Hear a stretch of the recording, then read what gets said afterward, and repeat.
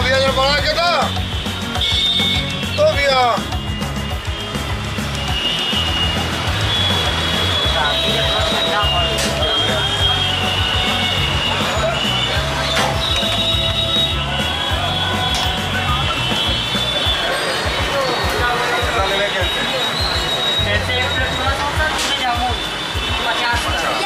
तो अभी हम लोग आए हुए हैं वाराणसी का जो बहुत ही फ़ेमस है ना सिर्फ़ वाराणसी या यूपी में बल्कि पूरे इंडिया और बाहर से भी जो लोग आते हैं वो अगर बनारस विज़िट करते हैं तो एक बार यहाँ पे ज़रूर आते हैं।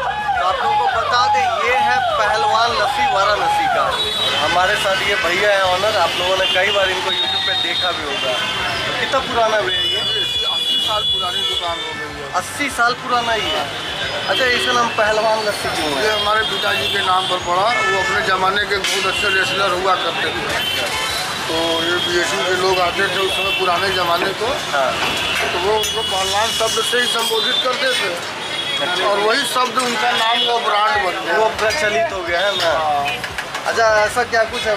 यहाँ पहलवान लस्सी के लस्सी में जो कि और जगह से अलग हुआ। हाँ लस्सी में और जगह से अलग रहेगा ये तो सबसे पहले तो जो है कि अपने घर का जो है कि डेयरी का दूध है। अच्छा आप लोग का अपना अपना खुद का डेयरी फार्म है खुद का दूध है। अच्छा फार्म भी आप लोग का खुद का ही है? अच्छा एक बार बता दीजिए जो लोग बनारस आके आपके यहाँ का लस्सी पीना चाहेंगे तो उनको एड्रेस एक बार बता दीजिएगा ये लंका चौराहा रविदास गेट के ठीक सामने। है और लस्सी का एमआरपी क्या होगा भैया? वो फिफ्टी रुपीज़ होगा हमारी पहलवान लस्सी का प्राइस और एक सर्दी के मौसम में आपके यहाँ स्पेशल लस्सी बनता है वो कौन सा है? वो हमारे यहाँ सर्दी के मौसम में एक मलइयो बनता है जो इसको बोलते हैं और ये जो है कि जाड़े में ही बनता है दो महीने के लिए। और ये बड़ा फ़ेमस चीज़ है। और ये हमारा आयुर्वेद में बोलते हैं आँख की रोशनी के लिए बड़ा बढ़िया होता है। ये मलइयो लस्सी। मलइयो। बहुत बहुत धन्यवाद भैया। हाँ भैया। तो अभी मैं भी अपने लिए ये बनवा लिया हूँ मलइयो लस्सी। ये देखिए। तो अभी ट्राई करते हैं और बताते हैं आप लोगों को कि कैसा है काफ़ी रिच और क्रीमी लग रहा है। और वाराणसी ऐसे कई बार आया हूँ बट आज पहली बार ये सौभाग्य प्राप्त हुआ कि इंडिया का सबसे फ़ेमस लस्सी, पहलवान जी का लस्सी जो कि वाराणसी में है एड्रेस आप लोगों को भैया बता ही चुके हैं। तो उनका लस्सी आज ट्राई कर रहे हैं।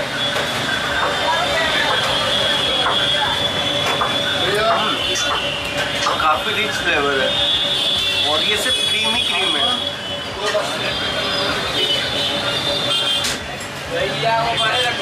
और जो फ्लेवर है ना, ये सही बता रहे हैं कि सर्दी के मौसम के लिए ये स्पेशली बनता है।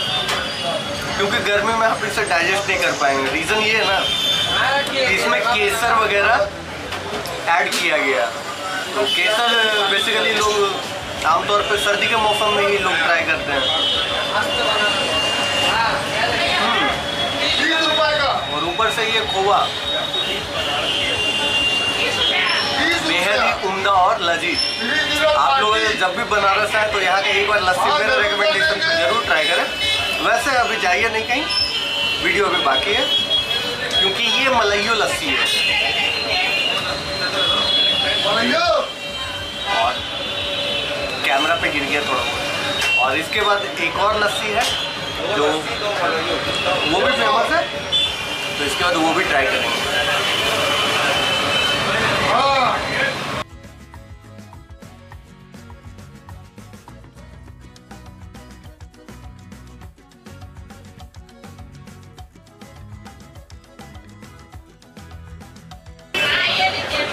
मलाइयो लस्सी में सिर्फ़ मलाई ही मलाई है।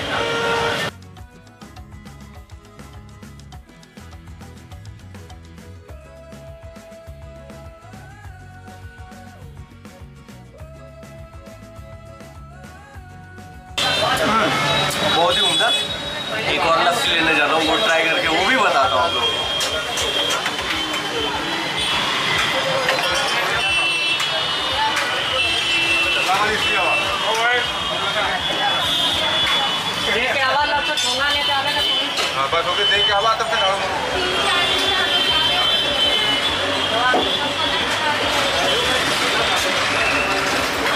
तो ये अब दूसरा लस्सी है।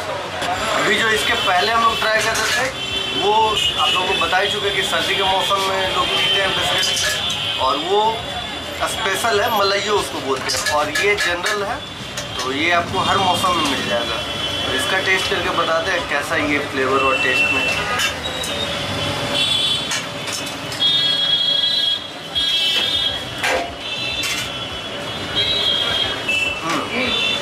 काफ़ी प्रीमियम टेस्ट है।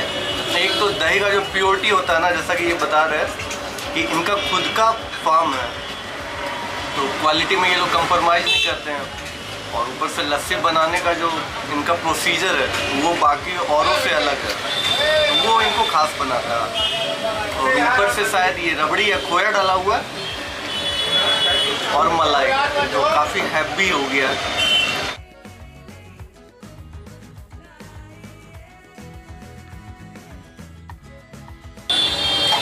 जो है ना कपटी का काफ़ी बड़ा है।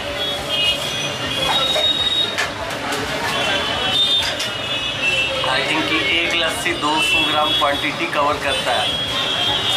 बहुत ज़्यादा हैवी हो गया। फ़ूड ब्लॉगिंग करने के चक्कर में। खैर, कोई नहीं। फ़ायदेमंद है। हेल्दी और टेस्टी भी। तो बस इस वीडियो में फ़िलहाल इतना ही। मिलता है नेक्स्ट वीडियो में। तब तो तक के लिए बार बार टेक केयर